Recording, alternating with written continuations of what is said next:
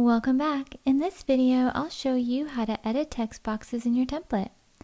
Editing text boxes in your template is easy. Anywhere you see text on your template, there's a good chance that it's editable text you can click, change the color of, change the font style of, etc.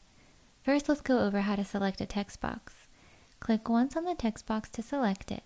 You can now drag it around and move it anywhere you'd like. You'll see the toolbar show up above the template, which allows you to change many settings for that text box. Simply click off of the text box to deselect it. Now let's review how to edit a text box. Clicking twice on a text box puts it into editing mode where you can select the text and change the wording to whatever you'd like. You'll know it's in editing mode because you'll see the cursor blinking. You can change the font style by clicking the text box once and using the drop down menu in the toolbar.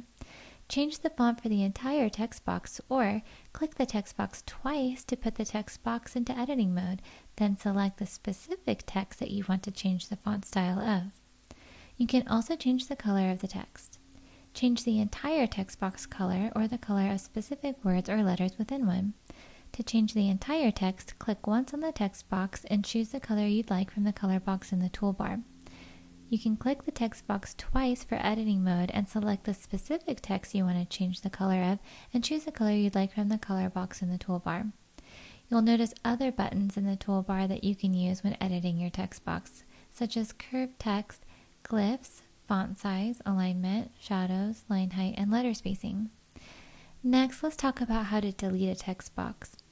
Either click or drag across the text box to select it, then click the delete button in the toolbar or click delete on your keyboard. If you have any questions, you can watch help videos or reach out to support by going to help.templett.com or by clicking the help link in the top right corner.